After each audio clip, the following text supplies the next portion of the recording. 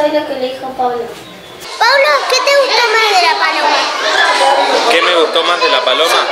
Y bueno, me gustó el compañerismo que hay acá, eh, me gustó las actividades que hacen acá, el comportamiento de los chicos que hay acá, es muy bueno. Eh, ¿Qué decías para la paloma?